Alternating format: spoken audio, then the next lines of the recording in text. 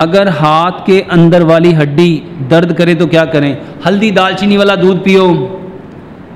हजामा कहाँ से करवाया जाए? आजकल तो हर कोई दुकान खोल कर बैठा हुआ है। जो अच्छे ऑथेंटिक लोग हैं, उनसे जमा कराओ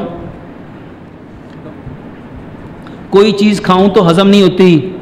मैदा खून पैदा नहीं करता। इसका आसान सा हल है। मेरे मोहतरम भाइयों, एक लुकमे को इतना चबाओ इतना चबाओ इतना चबाओ, जितने आपके दांत हैं। कितने दांत हैं? जब आप एक लुकमे को बत्तीस बार चबाओगे, बताओ वो खाना क्या बन जाएगा? और मेरे मोहतरम भाइयों, जो खाना हज़म हो जाएगा इन वो आपका खून भी पैदा करेगा।